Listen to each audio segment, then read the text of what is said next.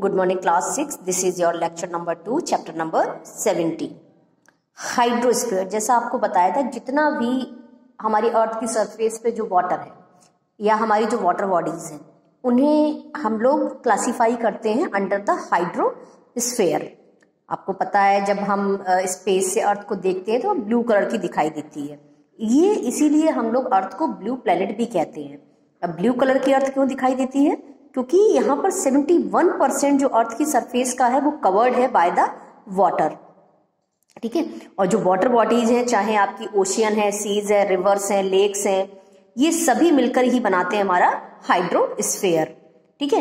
हालाँकि हाइड्रोस्फेयर में ice ice भी आती है, जो मतलब माउंटेन पर आइस है या ग्लेशियर्स जो है आपके, और पोलर पर जो आइस जमी हुई है या हाई माउंटेन रीजन पर है अंडरग्राउंड जो वाटर है हमारा, या एयर में जो हमारा वाटर वेपर प्रेजेंट है, वो भी हमारी हाइड्रोस्फीयर के अंडर ही आती है। अगर हम बात करते हैं वाटर बॉडीज में तो ओशियंस हमारे जो हैं पूरे हमारी अर्थ पर फाइव मेजर ओशियंस हैं। अपने साइज़ के अकॉर्डिंग सबसे बड़ा पैसिफिक ओशियन है, ठीक है? उसके बाद आपका अटलांटिक ओशियन है, फिर उसके बाद इंडियन ओशियन है थर्ड नंबर पर फोर्थ नंबर पर आर्कटिक ओशियन है। ठीक है? आपके ये और जो कंटिनेंट जो अंटार्कटिका है, वो आपका सराउंडेड है by the water bodies which is actually extension है पैसिफिक का। तो the Atlantic and the Indian ocean का जो एक्सटेंशन जाता है, वो हमारा अंटार्कटिका तक जाता है। तो ओशियन ओशियन की अगर हम बात करते हैं तो जो इसे अंटार्कटिक ओशियन कहते हैं या साउदर्न ओशियन कहा जाता है। ठीक है? अब आता है अगर हम ओशियंस को डिटेल में पढ़ते हैं तो द पैसिफिक ओशियन की अगर बात करते हैं ये लार्जेस्ट ओशियन है। uh, इसका जो एरिया है एक कंबाइंड एरिया सभी कंटिनेंट से ज़्यादा है। यानी अगर सभी हम कंटिनेंट को कंबाइन कर लें तो पैसिफिक ओशियन उनसे ज़्यादा बड़ा है। और ये डीपेस्ट ओशियन है हमारा। मरीना ट्रेंच जो है डीपेस्ट प्लेस है अर्थ की सरफेस पर, वो पैसिफिक ओशियन में ही पड़ता है। और ये ओशियन सर्कुलर है ऑलमोस्ट सर्कुलर है शेप में। और इन द नॉर्थ जो है it is joint to the Arctic ocean north में ये आर्कटिक ओशियन को ज्वाइन करता है।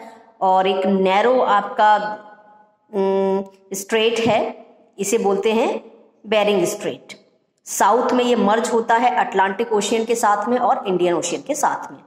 उसके बाद सेकेंड नंबर पे आता है द अटलांटिक ओशियन ये हमारा सेकेंड लार्जेस्ट ओशियन है पूरी दुनिया का और इसका शेप जो है लेटर एस की तरह होता है। ठीक है? अब नॉर्थ में ये आपका इसकी जो आ, फैलाव है इसका वो आर्कटिक सर्कल तक है and in the south merges with the Pacific and Indian ocean south में पैसिफिक और इंडियन ओशन के साथ मिल जाता है। जो कोस्ट हैं अटलांटिक हमारे ओशियन के, वो बहुत इरेगुलर हैं। और ये हालाँकि एक्सीलेंट लोकेशन प्रोवाइड कराते हैं ये पोर्ट्स के लिए और हावर्स हार्बर्स के लिए।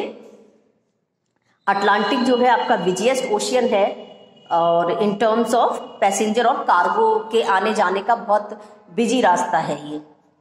उसके बाद आता है Indian ocean third largest ocean है।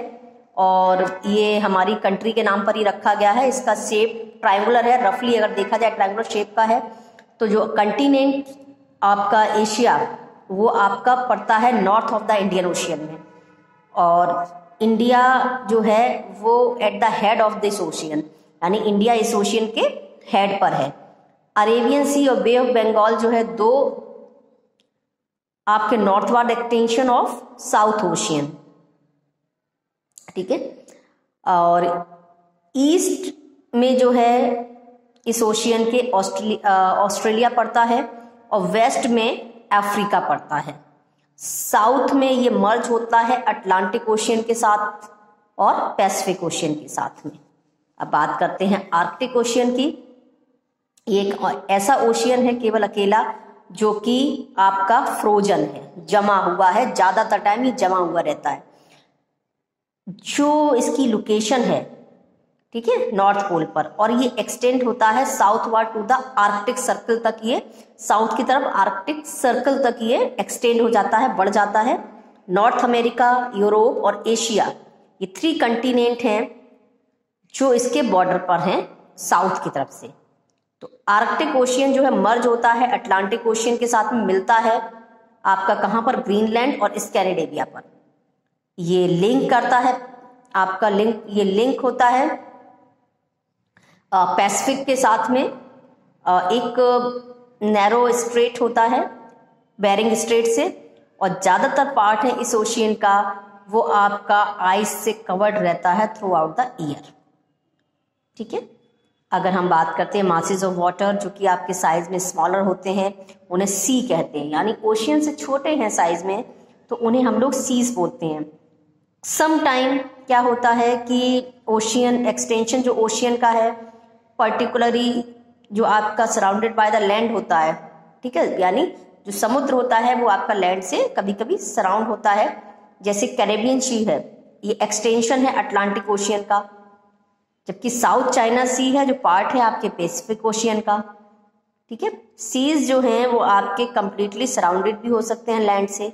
जैसे ब्लैक सी और कैस्पियन सी जो है वो आपका सराउंडेड है किससे? लैंड से। ठीक है? इसके बाद हमारा आता है एटमोस्फियर जो हमारे अर्थ के चारों एक थिक लेयर है एयर की, वो हमारा एटमोस्फियर बनाती है। हालाँकि कोई डिस्टिंक्ट बाउंड्री नहीं है एटमोस्फियर और आउटर स्पेस के बीच में। ठीक है, इसकी एग्जैक्ट थिकनेस की एटमोस्फियर कहाँ तक है, उसको अभी पता नहीं लगाया जा सकता। लेकिन फिर भी अगर माना जाता है तो 1600 किलोमीटर हमारी अर्थ के सरफेस से ऊपर तक हम मानते हैं कि एटमोस्फियर है।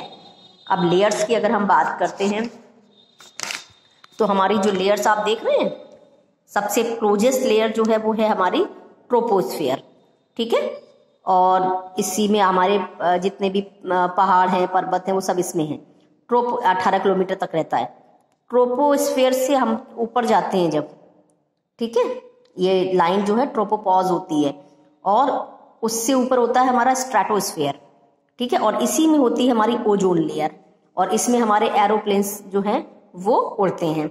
उससे ऊपर होती है हमारी मेसोस्फेयर और इसी मेसोस्फेयर में हमारे क्या होते हैं? मिट्योर्स होते हैं, हमारे क्लाउड्स होते हैं, ठीक है? उससे ऊपर हम जाते हैं तो होती है हमारी आइनोस्फेयर। ठीक है? आइनोस्फेयर में चार्ट पार्टिकल्स होते हैं, वेदर फेनोमिना या रेडियो आपकी जो वेव्स रिफ्लेक्ट होती हैं, वो आइनोस्फेयर से ही होती हैं। उसके ऊपर होती है हमारी थर्मोस्फेयर। ठीक है? और उससे ऊपर होता है फिर हमारा एक्सोस्फेयर। ठीक है? तो ये हमारी आपकी एटमोस्फियर की लेयर्स होती हैं। फाइन? इसके बाद हमारा कंपोजिशन ऑफ़ एयर की अगर हम लोग बात करते हैं एयर जो है बहुत सारी गैसेस का मिक्सचर होता है, ठीक है?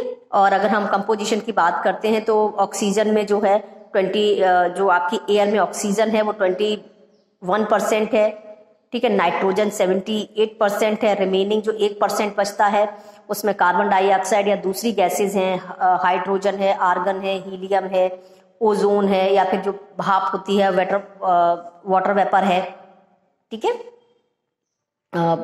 नाइट्रोजन जो है मेंटेन करता है हमारी फर्टिलिटी सॉइल की।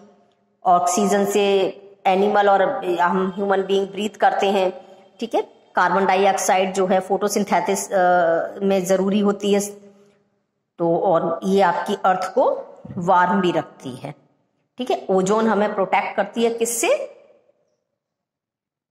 हार्मफुल सनरेज से अल्ट्रावायलेट सनरेज से। ठीक है? अब इसको आप एक बार फिर से अपना रीड करेंगे। फाइन